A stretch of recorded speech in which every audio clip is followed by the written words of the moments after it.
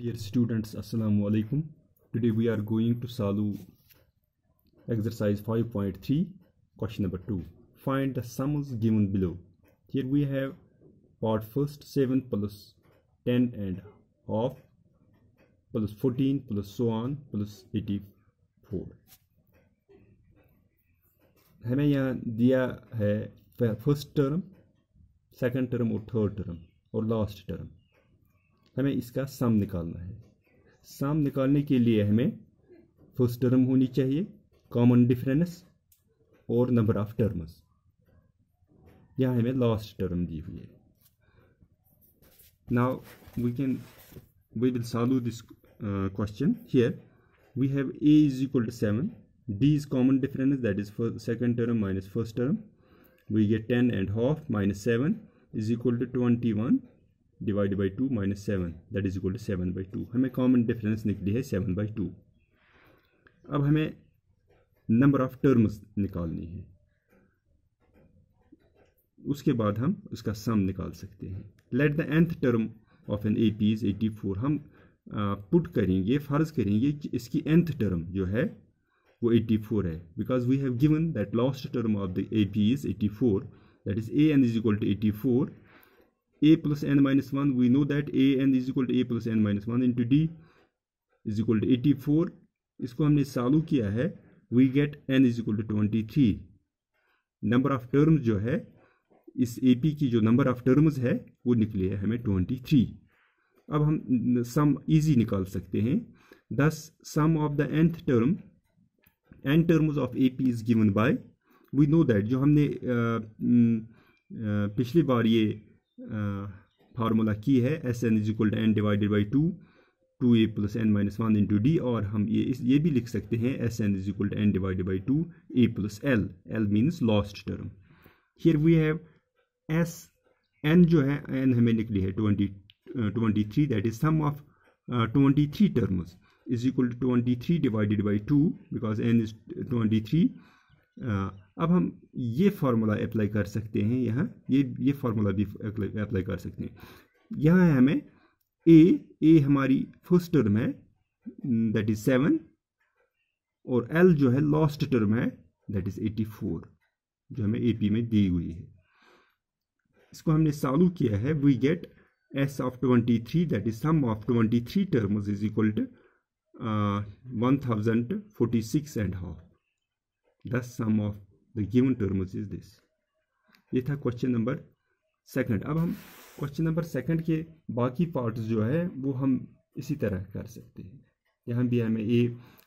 दूसरी पार्ट में हमें ए दिया हुआ है लॉस्ट टर्म भी दी हुई है। यहाँ हम हमें डी भी दिया हुआ है। अब हमें यहाँ, अब हम यहाँ पहले एन निकाल सकते हैं। एन के बाद हम पूरा इस ए पी के ए पी का सम निकाल सकते हैं। सेम सेम इसी इस थर्ड पार्ट में भी ऐसे ही अब हम क्वेश्चन नंबर थर्ड पर जाएँगे। In an A P given a is five d is three a n is fifty find n and s n हमें हमें एन निकालने हैं नंबर ऑफ़ टर्म्स और एस एन मीन्स जो जितने नंबर ऑफ़ टर्म्स निकलेंगे, उनका सम निकालना है। यह है question number three now we will solve this question number three here a is 5 d is 3 and an is 50 it is given we know that an is equal to a plus n minus 1 into d is equal to 50 that is an 5 plus n minus 1 into 3 is equal to 50 इसको हमने simplify किया है we get n is equal to 16 sum of n terms of ap is given by sn is equal to n by 2 a plus l इसको अब हमने a का value दिया है और एल का value that is last term जो इस ए पी की है, जो लॉस्ट टर्म है that is fifty is equal to eight into fifty five we get sum of sixteen terms is equal to four hundred forty n हमें निकला है sixteen number of terms निकली है sixteen और sum of sixteen sixteen terms जो है, उनका sum इन सिक्सटीन टर्मों का सम निकला है हमें four hundred forty it was question number three अब बाकी पार्ट्स जो है क्वेश्चन नंबर थ्री के वहाँ यहाँ हमें निकालना है s thirteen s twelve a ten eight term अब हम ये पार्ट करेंगे वन वी पार्ट हमें निकालना है यहाँ। Given a and a3 is equal to 15 a s10 is equal to 125 and d is uh, find d and a10 हमें d निकालना है यहाँ। Here we have a3 is equal to 15 s10 is equal to 125 an का an we know that an is equal to a plus n minus 1 into d. अब हमें, हम, हमने इसको सिंप्लीफाई किया है, a is equal to fifteen plus fifteen minus two d इसी तरह the sum of n terms of an A P is given by s n is equal to n n divide by two two a plus n minus one into d अब हमें यहाँ ten terms है that is s ten is equal to this we get s ten हमें दिया हुआ है s ten is one hundred twenty five इसको हमने सिंप्लीफाई करके two a plus nine d is equal to twenty five यहाँ हमें a is equal to fifteen minus two d अब हम putting value of a from equation first we get इस equation में हम ए का वैल्यू पुट करेंगे. A के बदले टू इंटू ए के बदले fifteen minus two d plus nine d is equal to यहाँ हमें अब निकला है d d is equal to minus one putting value of d in equation first equation first में आप डी का वैल्यू पुट करेंगे वी गेट यहाँ हमें equation first a plus fifteen minus two d इसका हमने वैल्यू दिया है माइनस वन डी का we get a ten is equal to eight हमें निकालना था ए टेन अब डी बी डी निकला है माइनस वन और ए टेन निकला है eight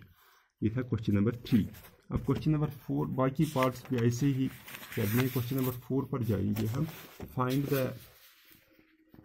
how many terms of the A P nine seventeen twenty five dash dash so on must be taken to